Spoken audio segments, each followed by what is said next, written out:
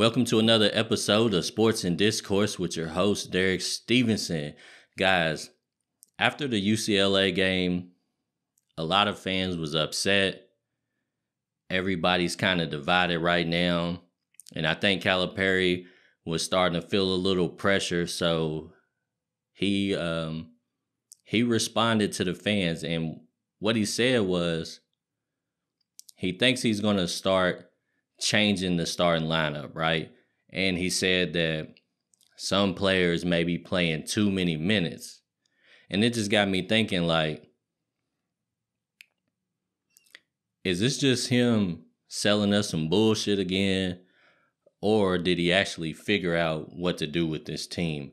And I hope that he actually figured out what to do with this team because it just seems like that's another one of those statements that kind of annoys a lot of the fan base because they feel like he just saying something to just try to pacify the fans at you know any given time. And one of the statements that he had made like i said i pointed it out in um, my last video. He said that Ugonna kingsley or Onyenso i'm sorry Ugonna Onyenso was going to be oscar tshiebwe's backup and then he didn't play at all against UCLA, if I remember correctly. Um, I don't think he did. If he did, he didn't play much. He definitely wasn't Oscar's official backup if you watch the game. So I kind of feel like when he makes that type of statement, is it for us or is it to like, is it like a warning to the players on the team, basically telling them like y'all need to wake up or I'm about to start using this guy? Either way, I just kind of felt like that was a weird statement. Um, and I feel like for him to just announce that he's changing his starting lineup, that he's going to start limiting some people's minutes, I feel like that's another one of those statements where I'm like, is he just trying to pacify us? Or is he trying to like wake up some of the players? And more specifically, I think a lot of the players think he was actually talking about Sahvir Wheeler. And Sahvir Wheeler is one of his guys. So let's not get it twisted. Like we know that Sahvir is going to play.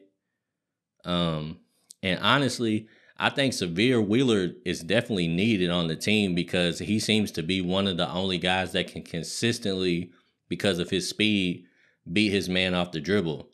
Now, the bad part about that is we don't know what's going to happen after he gets around that first defender. We don't know if he's going to score, if he's going to turn the ball over, if he's going to get blocked. We don't know what's going to happen after he gets past that first man, but he seems to be able to beat one defender pretty easy so far in this season. And so I would say I definitely feel like we got to have Sahvir Wheeler playing solid basketball. And I feel like there's some other guys too that maybe hopefully might get a shot. Like I still can't figure out why against the good competition, he doesn't give Adou Thiero a chance at all. And I know it's probably frustrating to Adou just because I can't see him playing or performing that much worse than some of these guys in practice that Cal just doesn't feel like he deserves a chance at all. I mean, in all the summer league games, some of the earlier preseason games, I mean, I would say Adou looked just as good as anybody on the team, honestly. Like, whenever he was in the game, he seemed to always be making stuff happen.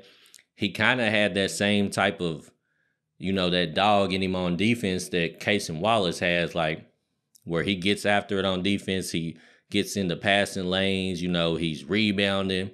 So it definitely um if he's able to produce any of that at the against high major competition, I would like to see if he can do it. Um, because it just seems like we can't get enough of those guys on the court at the same time.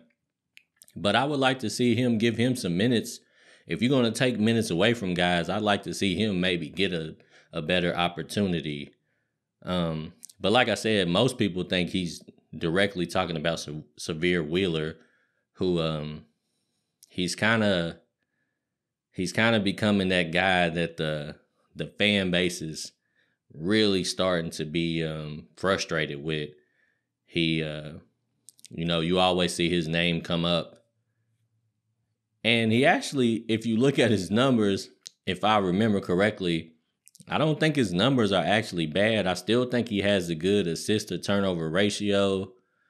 Um, so it, it's kind of hard to really judge him because he doesn't necessarily play bad, but I don't think he really inspires confidence in Big Blue Nation that we can win a championship with him leading the way and especially with him playing a lot of minutes in crunch time because it just seems like he's going to give you uh, one or two blunderhead uh, plays at the end of the game that could potentially hurt or cost you the game. And I think a lot of fans are just really like kind of looking at Cal like, all right, you you might have to start transitioning Cason Wallace into that primary point guard position.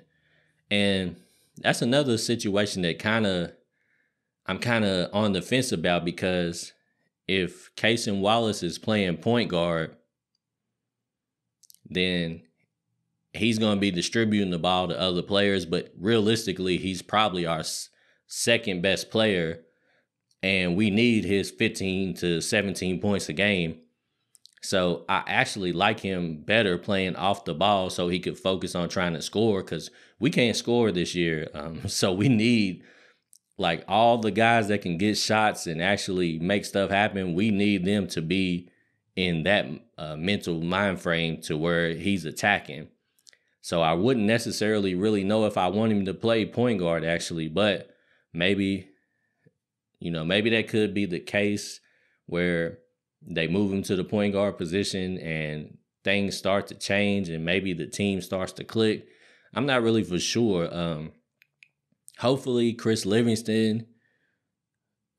Hopefully, we'll start to see some consistency from Chris Livingston because Chris Livingston, like I said, he had been kind of the one that kind of disappointed me because I thought he was going to be able to do more of that, like play how he played against uh, UCLA. I thought he would be able to do have more games like that versus you know him coming in making a couple of you know bad plays and then getting pulled and you know just not really being able to find his way into the game. So hopefully this could be his turning point in the season where he starts to come alive and starts to be able to really contribute something because we just need it.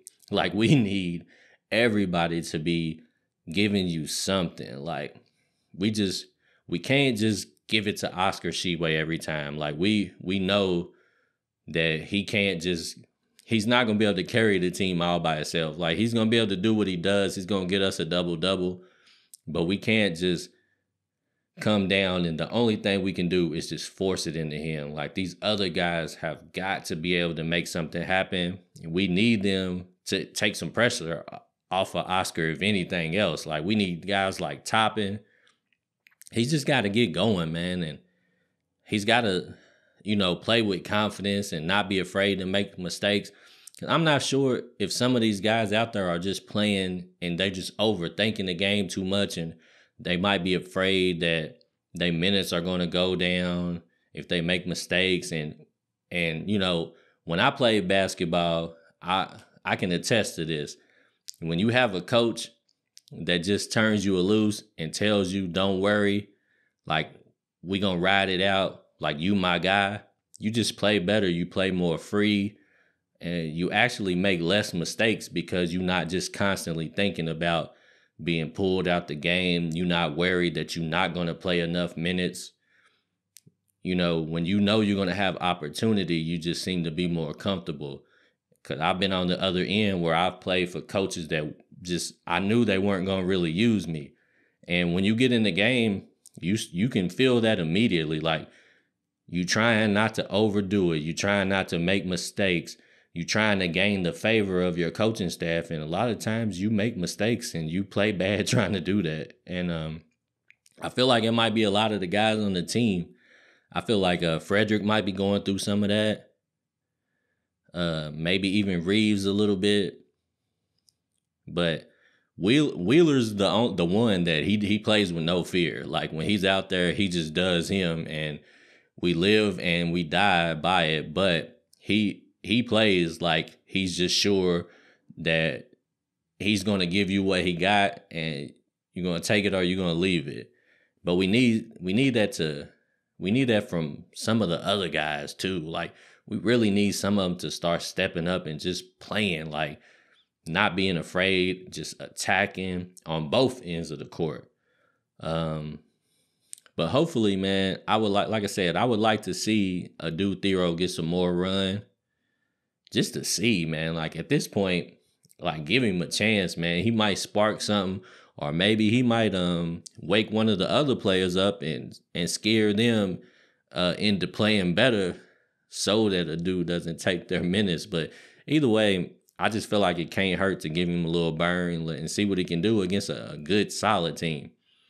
And you know, like I said, man, I I believe that we gotta have Wheeler playing good to win, but maybe Cal's gonna have to figure out in certain possessions, certain times of the game that he might have to um unfortunately he might have to take Wheeler out that game and hopefully it doesn't, you know, bring Wheeler's confidence all the way down to where he starts playing even worse. Cause like I said, his numbers really aren't that bad.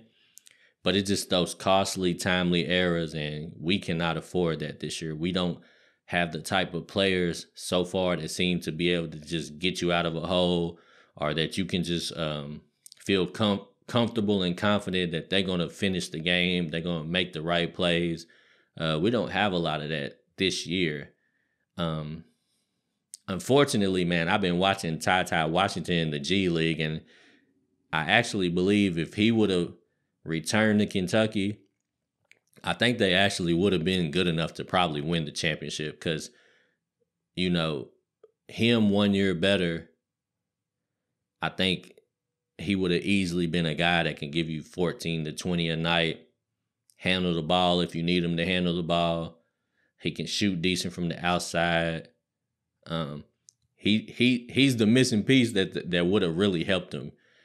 And I haven't got to really watch Bryce Hopkins yet.